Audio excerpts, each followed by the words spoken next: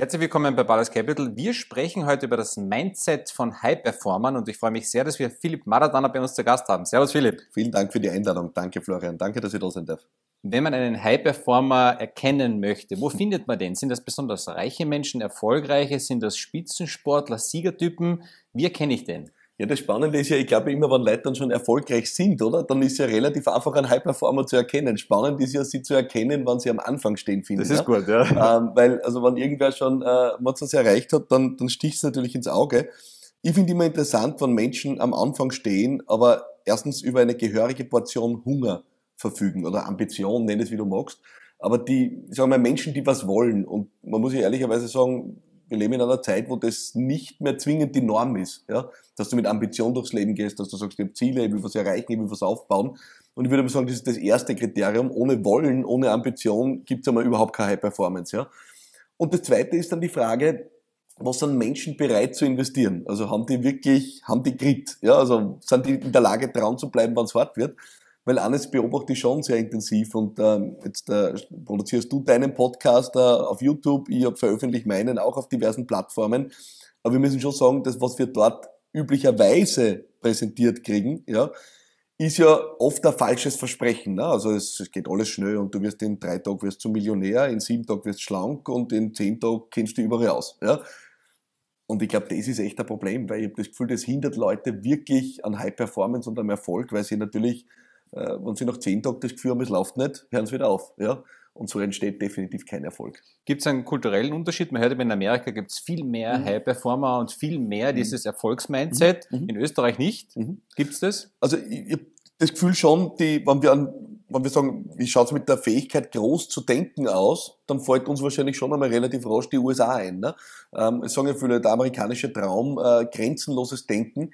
Und groß zu denken ist, glaube ich, die erste Grundlage für High Performance. Und da hat man schon das Gefühl, ist die US-Kultur etwas mehr ich sage jetzt mal, uplifting als unsere. Weil bei uns ist es ja eher so, wenn du eine große Idee hast, da, dann, dann begehst du den großen Fehler und erzählst das vielleicht irgendwo im Wirtshaus oder an der Bar, dann birgt natürlich der, der erste Supergescheite gleich mal um die Ecke und sagt, na, das ist ein Blödsinn oder das wird sicher nichts.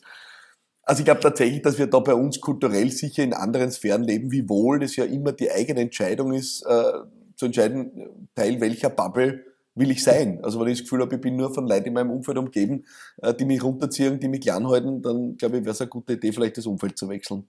Du hast angesprochen, es gibt wenige Menschen, die klare Ziele haben. Mhm. Ich habe erkannt, es gibt Junge, die sagen, ich möchte auch für Geld kämpfen. Ich möchte ein schönes Auto, ich möchte ja. ein eigenes Unternehmen ja. haben, ich möchte äh, eine schöne Wohnung haben, ja. ich möchte für meine Familie was äh, sozusagen bieten können. Mhm.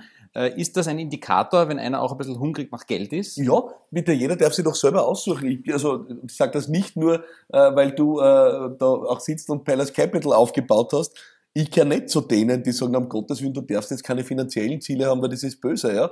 Ähm, jeder darf sich aussuchen, was er erreichen will. Und ganz ehrlich, äh, mehr Geld, mehr Wirkung. Ja? Es darf sich auch jeder aussuchen, was er mit seinem Vermögen und seinem Erfolg tut.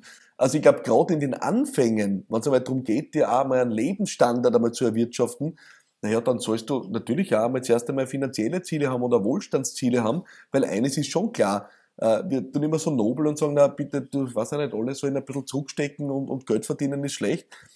Ich habe das Gefühl, wir schauen jetzt Corona-Krise, eigentlich habe ich das Gefühl, wir waren ganz dankbar, dass es doch ein paar Unternehmen gegeben hat, denen es extrem gut gegangen ist, die nicht ins Schlingern kommen sind, die irgendwann vielleicht einmal Geld verdient haben, äh, am Polster aufgebaut haben und dann gut durchgekommen sind und das Gleiche im Privaten. Ich habe das Gefühl, ich würde äh, Familie äh, deutlich mehr schätzen, wo ich mir denke, na ja, wenn die erste äh, Strompreiserhöhung kommt oder Gaspreiserhöhung wie jetzt äh, und die Familie hat sich vielleicht ein bisschen was der Sport oder aufgebaut, muss ich sagen, schätze ich das deutlich mehr, als wie wir sind auf Kante. Also ich glaube, die Ambition auch einen finanziellen Wohlstand oder Freiraum zu haben, ist ja bitte nichts Schlechtes. Wer stärker ist, kann mehr tun, wenn es eng wird.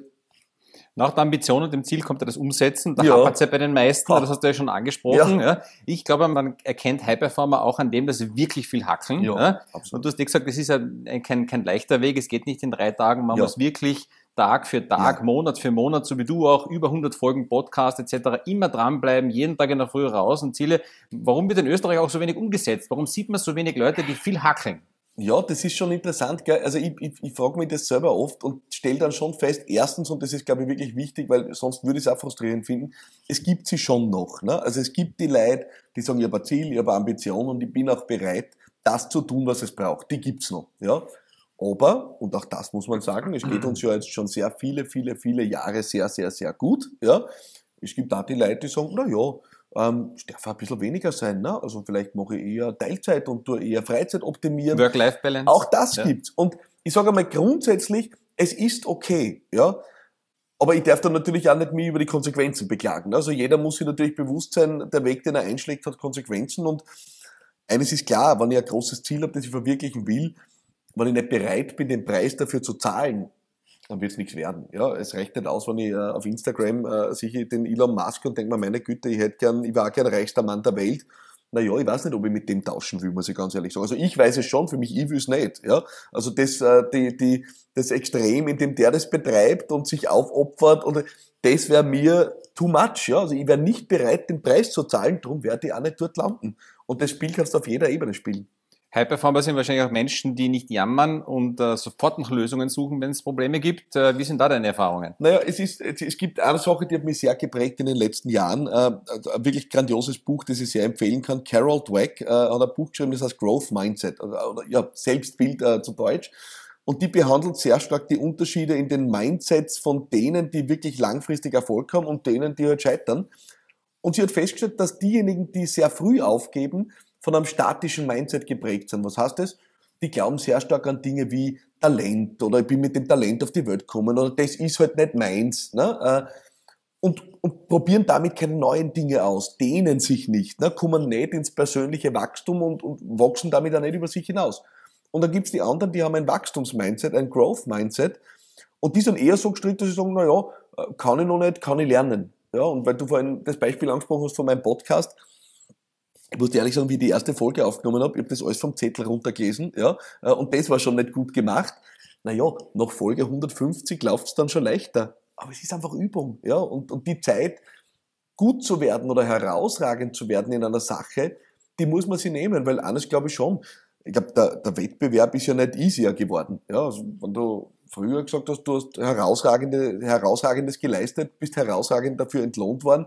Äh, wenn du sehr gute Leistung gehabt hast, war sehr gut. Heute ist so, wenn du herausragend arbeitest, kriegst du immer herausragend kompensiert. Wenn du sehr gut ablieferst, gut. Wenn du gut ablieferst, kriegst du durchschnittlich kompensiert. Und wenn du Durchschnitt ablieferst, kriegst du gar nichts mehr. Ja? So funktioniert die Welt heute. Und deswegen lohnt sich schon, in einer Sache richtig, richtig gut zu werden. Das braucht Zeit. Und wenn du dir die Zeit nicht nimmst, wirst du es nicht werden und dann wird auch der Erfolg ausbleiben. Und da glaube ich, muss man wirklich mit der, ich möchte fast sagen, Social Media Lüge ein bisschen aufräumen. Ja. Äh, Gerade junge Leute, glaube ich, dass, dass diese Denke macht sie nicht erfolgreicher. Jetzt gibt es aber viele Unternehmer, die fleißig arbeiten und dann plötzlich ja. kommt der Schicksalsschlag in der mhm. Familie, es kommt die Krankheit, mhm. es gibt mhm. keine Investoren, es geht nichts weiter. Ja. Wie geht ein High-Performer mit Problemen um? Naja, ähm, äh, würde man sagen, kann es aus meiner Erfahrung sagen, ähm, und ich nehme mal an, äh, dass es bei dir nicht anders ist, du bist da schon sehr lange unternehmerisch aktiv es läuft nicht immer wie am Schnürchen. Ne? Also es ist manchmal auch wirklich äh, Schmerz, es ist manchmal wirklich die Hölle, manchmal ist es zum Haare rauf und manchmal möchtest du am liebsten hinschmeißen. Die entscheidende Frage ist, tust du das auch? Ja? Oder gehst du mal kurz äh, nach Hause, äh, tust dir mal vielleicht ein paar Minuten, eine Stunde oder einen Tag selbst bemitleiden, ist okay, ja. Aber die Frage ist, schaffst du es dann, den Turnaround zu machen und zu sagen, okay, was mache ich jetzt aus der Situation? Und, und auch zu erkennen, dass ja eine Situation nie abschließend ist. Was meine ich damit?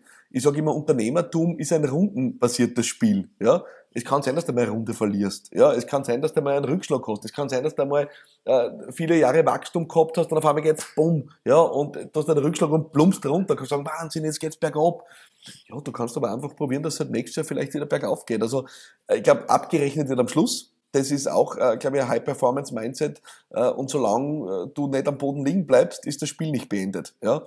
Und ich glaube, solange du das beherzigst, glaube ich, kannst du aus vielen Dingen rauskommen. Sagt niemand, dass es einfach ist. Also das, glaube ich, ist wichtig. Das stimmt. Ja. Kann man das High-Performance-Mindset lernen? Gibt es Bücher, Coaches? Äh, sollte mhm. man sich einen Coach holen? Sollte man sich mit High-Performern umgeben? Also ich sag, ich sag immer, wenn mich wer fragt, ob ich einen Coach habe, ich sage, was heißt an? Ich habe eine Armada an Coaches, sonst, äh, sonst wird das alles hier nicht ausgehen. Was meine ich damit scherzhaft ist, ich habe natürlich Menschen, für ganz spezifische Bereiche, wo man denkt, wenn da was nicht läuft bei mir, frage ich den. Ja? Wenn da was nicht läuft, ich zu der. Ja? Kriegst du immer die richtige Antwort? Na, die, die richtige Antwort weiß man immer, wenn man es ausprobiert und dann schaut, was rauskommt. Gell? Also das, äh, das, das liegt ja dann immer oft an einem selber auch.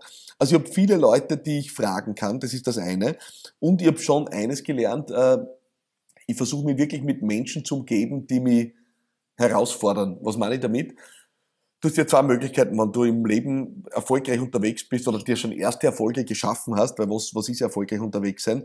Variante 1 ist, du umgibst dich dann mit lauter Leuten, die nicht so erfolgreich sind wie du. Ja, und dann kannst du den ganzen Tag kannst du dann auf die Schulter klopfen und kannst sagen, ich bin so super, ich bin so toll, bin besser wie alle anderen äh, und kannst dich gut fühlen. Oder du umgibst dich mit Leuten, die signifikant weiter sind als du und das wird dich immer ein bisschen, ich sage immer, kitzeln. Ja, weil das ist natürlich immer leichte Unbequemlichkeit, wo du denkst, oh je, oh je, äh, was der hat, da bin ich noch nicht. Oder schau, was der schon wieder zusammenbringt. Aber das hält dir am Wachsen. Ja. Das raus aus der Komfortzone, ja, oder? Ich glaube wirklich, du ja. musst dich mit Leuten umgeben, die besser sind als du, die weiter sind als du, die höhere Ziele haben als du. Und so an der Grenze, wo es ein bisschen ungemütlich wird, weißt du, was du denkst, ich bin mir jetzt nicht mehr sicher, ob ich die Anwesenheit jetzt genieße oder ob sie mich einschüchtert, so ganz hart an der Grenze, da glaube ich, da passiert die Magic. Ja. Ich glaube, dass es jeder Mensch sein Leben jederzeit ändern kann. Also die Jungen, die zuschauen und auch die Älteren. Ja. Wenn jetzt einer sagt, der zuschaut, ich bin jetzt inspiriert von dem coolen ja. Gespräch mit dem Philipp und mit Florian und ich möchte ab heute mein Mindset etwas performen ja. und was anderes tun, was würdest du empfehlen, sind so die ersten Schritte? Was könnte jemand tun? Naja, also ich, machen wir mal ein paar ganz praktische Sachen. Das eine ist, mhm. ich finde, du redest immer über sehr spannende Themen da. Ich würde mir mehr von dem Podcast anschauen. Fangen wir mal so an, oder? Da gibt's und auch ein paar, von deinem, also von ein paar ausgewählte Podcasts, Folgen, glaube ich, die ganz spannend sind. Eine, die übrigens extrem lässig gefunden habe, äh, du hast einen Podcast mit deinem eigenen Sohn geführt, was mir total taugt hat. Also grandios, ja, äh, richtig gut. Ähm, das zweite ist, ja, ich rede auch in meinem Podcast sehr viel über diese Themen, äh, kann man auch mal rein, sind alle immer getaggt da mit Mindset. Ähm, und das dritte ist, wenn man wirklich was lesen will dazu, dann empfehle ich sehr dieses Buch von Carol Dweck, Mindset, oder in der deutschen Ausgabe Selbstbild da kann man schon einmal richtig tief reingehen. Das geht sehr breit, also auch schon, was man Kindern eigentlich mitgeben kann in dieser Frage. Ähm, wenn die einmal heimkommen aus der Schule und vielleicht was nicht gut gemacht haben, äh, wofür lobst du deine Kinder oder, oder wie lobst du deine Kinder? Also das geht ja wirklich sehr breit. Ich glaube, da gibt es genug Möglichkeiten einzusteigen. Und wenn jetzt jemand sagt, er möchte auch einen Mentor haben, also hat zum mhm. Beispiel noch keinen, möchte sich auch ein bisschen loslösen vom Freundeskreis, ja. wie kann man da vorgehen? Wie findet man einen coolen Mentor? Wie erkennt man den? Geniale Frage, ähm, geniale Frage, weil die kriege ich natürlich oft, also wird wahrscheinlich bei dir genauso sein, schreiben jeden Tag Leute, Philipp, äh, kannst du nicht äh, mein Coach sein oder mein Mentor oder kannst du mich nicht bei der Hand nehmen? Das wird bei dir genauso sein. Ähm, und natürlich geht das nicht, ja, also du, wir haben alle unser Daily Business äh, und, und, und tatsächlich unser eigenes Unternehmen auch zu managen. Aber ich sage ganz ehrlich, die Coaches und Mentoren, die ich heute habe, die haben sich am Anfang auch nicht für mich persönlich interessiert. Noch. Das ist also, gewachsen. Das ist gewachsen. Ja. Ich habe meinen Mentor oder eine meiner Mentoren heute, die ersten Jahre habe ich den einmal nur über CD gekannt, weil ich habe seine CDs gehört. Ja? So, irgendwann einmal war ich der 738. Teilnehmer auf einem Seminar und habe vor hinten in der letzten Reihe. Also so irgendwann war ich dann einmal in so einer kleinen Mastermind-Gruppe und ja, heute darf ich ihn persönlich fragen, also was meine ich damit? Natürlich kannst du nicht einfach jetzt hingehen und klopfst bei einem Millionär, Milliardär und sagen, nimmst du mich bitte an der Hand. So wird es nicht funktionieren. Du musst Aber auch was bieten. Du musst ja? was bieten, du musst einen Nutzen stiften und du kannst vor allem einmal auch von jemandem lernen, unendlich, ohne dass du jetzt nur mit der Person persönlich in Kontakt bist. Ja? Ähm, also zieh dir den Content rein von den Leuten, äh, lies ein Buch, wenn sie ein Buch geschrieben haben. Also all diese Dinge kannst du tun und dann, glaube ich, kann man Step by Step sowas auch entwickeln. Jetzt bist du auch sehr aktiv bei zwei Minuten, zwei Millionen. Ja. Du siehst da sehr, sehr viele junge Unternehmer, ja. die was aufbauen wollen. Ja. Wie erkennst du bei denen, bei jungen Unternehmern dann das äh, High Performer Mindset? Da gibt es wahrscheinlich auch welche, die es gern haben würden, aber es nicht können und nicht wollen. Total.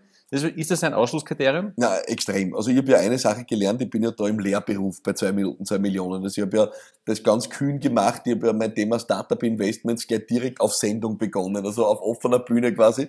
Ähm, das, äh, aber ein guter Marketing-Move, naja, muss ich sagen, gratuliere. Das, ob ja. das Investment war, ist dann eine gute Idee war, vielleicht hätte man zuerst mal Sporen verdienen sollen, aber jedenfalls lerne ich dazu natürlich. Und habe am Anfang einen Fehler gemacht, ich habe mich immer von den Ideen begeistern lassen, die dort präsentiert waren. Das war in der ersten Runde. Und irgendwann haben wir gedacht, na Moment einmal, also Idee ist super, nur dann bin ich draufgekommen, dass da tatsächlich auch immer wieder vorkommt, dass jemand sagt, ja, das super Idee, aber eigentlich erwartet, dass sie der Investor wird es dann schon richten. Ne? Also ich äh, weiß nicht, ob du diese Erfahrung auch immer wieder mal machst, aber der Investor, der wird schon machen oder ich erwarte mal, der Investor nimmt es dann in die Hand. Der bringt dann die Kunden, der, der bringt macht alles, Verkauf, der, der macht den Vertrieb, sorgt für den Umsatz, alles, genau. und sorgt ja. für den Umsatz und macht alles der Investor. Und das ist natürlich Schwachsinn. So, was heißt das? Ich schaue extrem drauf. Ja? Sind die Leute in einer Haltung drinnen, wo sie sagen, ich werde es machen müssen, aber ich krieg Erfahrung beigesteuert. Aber Leute, die in einer Haltung unterwegs sind, dass sie wissen, am Ende wird mir keiner helfen, am Ende werde ich da all in gehen müssen und angasen müssen. Und wenn wer um die Ecken biegt und sagt, na ja, das könntet ja ihr dann vielleicht übernehmen, denken wir schon, oh je, oh je, oh je, äh, das könnte eventuell schwierig werden. Also ich schaue schon drauf, ähm, wie sehr sind die tatsächlich committed. Wenn es mehrere Leute sind in einem Team, schaue ich immer drauf, hat das Team einen Chef. Ja, weil das ist das Schlimmste. Äh, und da stehen fünf äh, junge Leute und du sagst, wer ist der Chef? Und sie sagen alle, wir, wir alle gemeinsam, da renne ich schon, ja, bin ich schon weg. Also da schaue ich schon auf Dinge natürlich, äh, dass da Klarheit herrscht, aber am Ende ist eigentlich nur die Frage, haben die das Potenzial durchzuhalten? Ja, und glauben die eben auch, jetzt kommt der Investor und jetzt geht's zack, zack. Ähm, oder glauben, oder haben die wirklich das Potenzial durchzuhalten? Weil ich glaube, auf das kommt es an. Ja. Ich habe mal gelesen, dass High-Performer statistisch gesehen eher introvertierte Menschen sind. Ja? ja. Kannst du von dieser ist Statistik etwas abhaben? Könnte ich, also ich, ich, was ich jedenfalls bestätigen kann, ist, dass ich auch introvertierte High-Performer kenne und zwar mhm. nicht wenig. Ja. ja. Die Unterscheidung, dass sie eher so sagen, könnte ich aus meiner Erfahrung nicht sagen. Aber ich Weil die vielleicht mehr hackeln und weniger reden? Oder? Weniger reden, ja. ähm, äh, das, aber sozusagen, wenn man jetzt glaubt, das wäre ein Vorurteil, wenn du introvertiert bist, dann kommst du vielleicht nicht in die High Performance, das halte ich tatsächlich für einen Schwachsinn. Also ähm, das ist äh, belanglos, die haben oft sogar mehr Fokus und kümmern sich weniger um ihre eigene ihr eigenes Setup. Was aber definitiv auch notwendig ist für einen High-Performer, dass er sich ständig mit seiner Persönlichkeit beschäftigt und ja. auch Persönlichkeitsentwicklung betreibt, oder? Absolut, natürlich. Äh, und aber wenn jeder, der das tut, weiß, dass es manchmal angenehmer war, man, man nicht so viel nachdenken, ne? ähm, äh, ist es einfach eine Tatsache, wenn du vorankommen willst, dann musst du dich auch hinterfragen. Und das tue ich die ganze Zeit als Unternehmer, äh, in meiner Rolle als Führungskraft, bei der Entwicklung neuer Dinge so ist es halt einmal. Wir sind alle nicht mit der Weisheit auf die Welt gekommen, also werden wir uns nur dann weiterentwickeln, wenn wir offen dafür sind, äh, wo haben wir einen Fehler gemacht, wo sind wir in eine falsche Richtung gegangen und, und wie können wir was besser machen. Die Offenheit, glaube ich, sollte jeder mitbringen. Jetzt bist du ein Multiunternehmer und du kriegst bei zwei Minuten zwei Millionen ja jede Menge coole Investment-Opportunities ja. serviert ja. im Startup-Bereich. Meine Frage jetzt, hast du auch so langweilige Investments wie eine Vorsorgewohnung, ein Bitcoin oder sowas? Gibt's das? Naja, jetzt habe ich zumindest einmal wieder eine Immobilie äh, ja? mir zugelegt. Äh, ist das, das, was zum Vermieten oder was, was schaust du da? Ja, ähm, unterschiedlich. Also eigentlich, ich bin leider, ich brauche dann, wenn es Immobilie ist, geht das für mich nur, wenn ich einen Bezug dazu habe. Also, also Emotion? Ja, es ist ja? interessanterweise, das muss dann schon was sein, wo ich mir immer vorstelle, wo ich selber auch eine Freude dran hätte, okay. ob es dann ist oder nicht. Ja? Ähm, aber jetzt habe ich tatsächlich wieder immer was gemacht. Ähm, äh, Krypto bin ich tatsächlich gar nicht, ja, Steine auf mich, ja, äh, alles gut.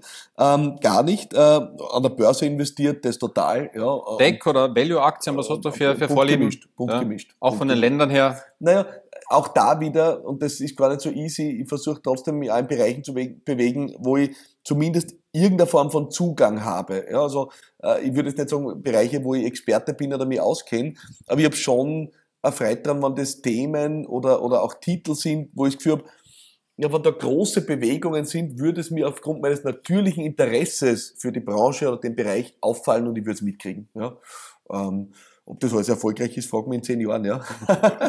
Philipp, vielen Dank für dieses coole Gespräch. Ich denke, ich du hast definitiv einige Leute hier inspiriert und ein bisschen die Augen geöffnet. Dank. Danke dir vielmals. Dankeschön, danke für die Einladung, danke fürs Zuschauen. Liebe Zuseher, vielen Dank für Ihr Interesse. Bleiben Sie gesund und investieren Sie smart.